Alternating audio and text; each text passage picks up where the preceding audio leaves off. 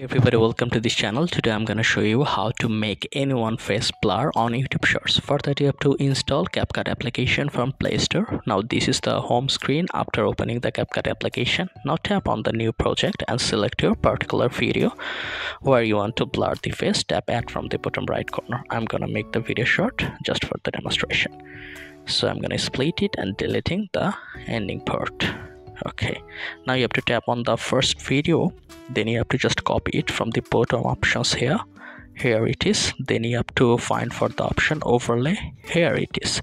And now adjust this video just below it. Okay now go back. Now you can see effects option. Tap on it. Now you have to tap on video effects. Then you have to tap on the lens option from here. Then you have to search for blur. Here it is. Tap on the blur. Then tap the check mark.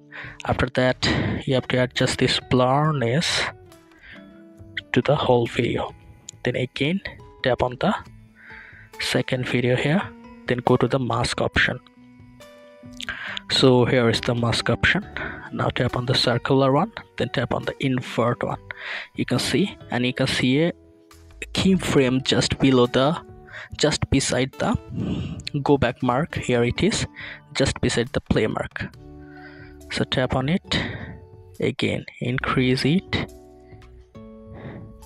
go to the mask option adjust it again.